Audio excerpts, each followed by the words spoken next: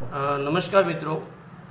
राष्ट्रीय आय की वृद्धि दर के बारे में देखा और उसमें आने वाली जो समस्याएँ है, मर्यादा है, मुश्किल है, उसके बारे में भी हम लोगों ने मतलब देख लिया। अब जो आगे के मुद्दे के अंतर्गत की बात कर रहा हूँ, मैं आर्थिक विकास के निर्देशांक की बात कर रहा था। पहला निर्देशांक हमने पूरा कर लिया है कि राष्ट्रीय आय की वृद्धि दर। दूसरा निर्देशांक है प्रति व्यक्ति आय की वृद्धि दर। प्रति व्यक्ति आय का वृद्धि दर का जो शब्द है आप लोग उससे बहुत ज़्यादा परिचित हो। उसके मुद्दे की अगर मैं बात करूँ, दो अंकों में आया तो आपको लोगों को चार मुद्दे लिखने कि प्रति व्यक्ति आय की वृद्धि दर समझाओ। तो चार मुद्दे लिखने, एक उसकी परिभाषा। इसकी परिभाषा इसलिए कि कोई इसका सूत्र अगर आपको आएगा तो उसकी परिभाषा आ जाएगी।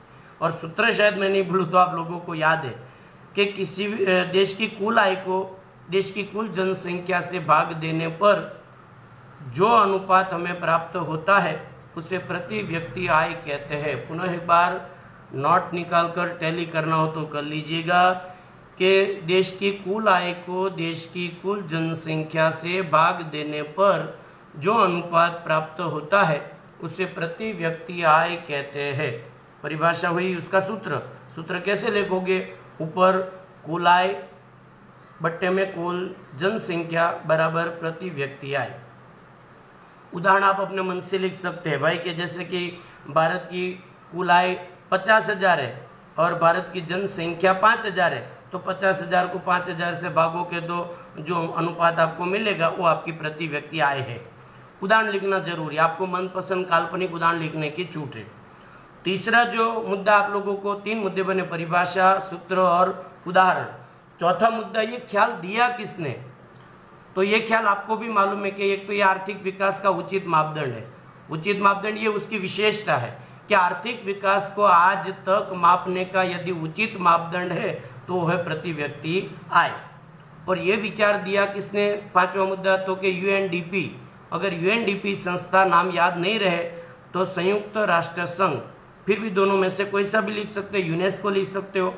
यूएनडीपी का पूरा नाम आपको मालूम है कि यूनाइटेड नेशनल डेवलपमेंट प्रोग्राम वगैरह परिभाषा सूत्र उदाहरण विशेषता और ये ख्याल किसने दिया पाँच मुद्दे हुए अब प्रति व्यक्ति आय का संबंध देश के आर्थिक विकास के साथ कैसा है तो क्या सीधा जैसा राष्ट्रीय आय का संबंध है वैसा प्रति व्यक्ति आय का संबंध है कैसे कि यदि देश की प्रति व्यक्ति आय ऊँची या अधिक तो देश का आर्थिक विकास भी ऊँचा। और यदि देश की प्रति व्यक्ति आय कम तो देश का आर्थिक विकास भी कम।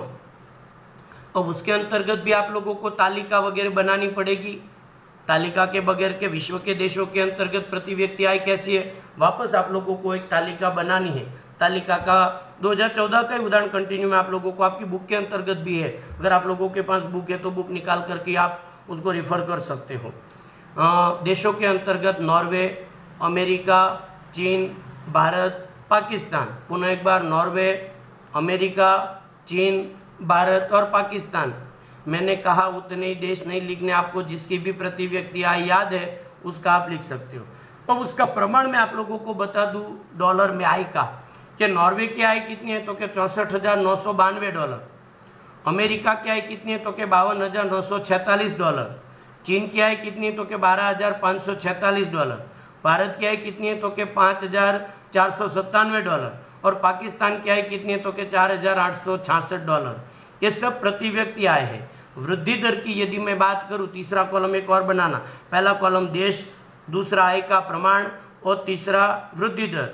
नॉर्वे का प्रति व्यक्ति आय का वृद्धि दर एक पॉइंट एक, अमेरिका का एक पॉइंट छः चाइना का छः पॉइंट सात, भारत का छः प्रतिशत और पाकिस्तान का दो पॉइंट छः तालिका बनाने के बाद आप लोगों को मनपसंद उसका विश्लेषण करना है और विश्लेषण के बाद आप लोगों को उसके नीचे उसका निष्कर्ष लिखना है। और जितने भी मुद्दे बता रहा है वो मुद्दे नोट करते जाइएगा, क्योंकि जैसे ये लेसन मेरा खत्म होगा, हो सकता है कि मैं आप लोगों को इन्हीं कोई मुद्दों में से आप लोगों को प्रश्न लिखने के लिए दूँ।